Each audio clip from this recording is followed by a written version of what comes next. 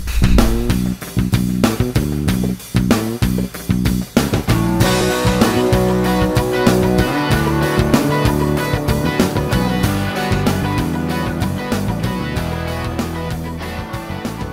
Bienvenidos una vez más a la primera de las dos cronos que tendrá este Tour de Francia. Recordemos brevemente que el trazado de esta etapa era de 27,2 kilómetros. Pero vámonos de una a lo que pasó en la etapa de hoy en donde el esloveno Pogachar destrozó todas las estadísticas. El primero en largar era Moon Jansen, corredor del Shane. No olviden que el orden de partida es por la ubicación de atrás para adelante en la clasificación general. Uno de los primeros en partir había sido el ganador de cuatro Tours de Francia, el bueno de Chris Siempre da alegría verlo de nuevo en su salsa. Turno para el ganador de la etapa 4 al sprint, el británico Mark Cavendish y el dueño del maillot verde de los puntos. Partía uno de los favoritos, el suizo compañero de Rigobert Urán en el Education, el joven de 22 años Stefan Biseguer, que finalmente no tuvo uno de los mejores tiempos, pero promete mucho, el clima no le ayudó mucho. Mientras tanto, Miguel Ángel López había sido el primer latinoamericano en largar, no hizo una mala crono como era de suponerse, concluyó con un tiempo de 34 minutos 8 segundos y quedó como el tercer colombiano del día. Uno de los favoritos a quedarse con la crono era el suizo del Grupama, Stefan Kung, que por el momento era líder con un tiempo de 32 minutos 19 segundos. Finalmente perdió por 19 segundos frente al ganador de la etapa. Otro de los favoritos era el esloveno Primoz Roglic, que no estaba bien físicamente debido a las caídas que había tenido en, en etapas anteriores. No logró vencer el tiempo y se quedó con 32 minutos 45 segundos, 45 segundos más que Pogachar. Ojo a ese referencial, porque todavía queda mucho tour. El segundo colombiano en partir fue Rigo cobertura con el dorsal 111. Recuerdan ese dorsal, no se les hace conocido. Con ese número ganó Lucho Herrera la Vuelta a España en el 87. El Durrado concluyó con un tiempo de 33 minutos 9 segundos y fue el mejor colombiano del día. Excelente lo de Rigo en este tour. Sergio Higuita no tuvo la mejor contrarreloj, se veía venir. ¿Por qué? Porque debe guardar fuerzas para trabajar junto a Rigo en el resto de las etapas de montaña. Va a ser su mejor gregario. El tiempo de él fue de 34 minutos 45 segundos. Digo forma para Esteban Chávez que concluyó de 35 minutos 4 segundos y fue el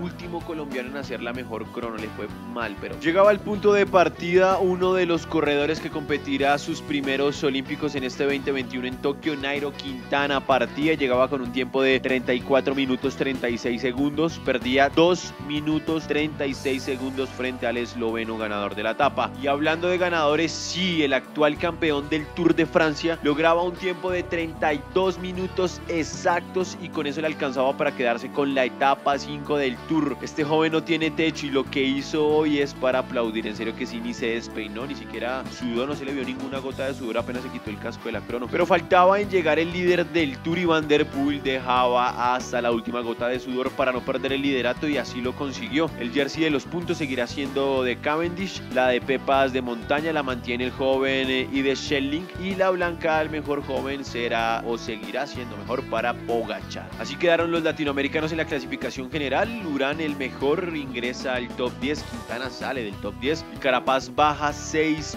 puestos. El más perjudicado sigue siendo López, ya está a 5 minutos 20 segundos y así quedó la clasificación general, detállenla bien. La etapa 6 será llana, aún no llega a la alta montaña, el trazado será de 160,6 kilómetros y los favoritos seguro seguirán ahí. Y con eso llegamos al final, capos. Si llegaron hasta acá y quieren seguir apoyando este trabajo, les agradezco, porfa, en serio, de corazón, una suscripción, porfa. ¡Ale, ale!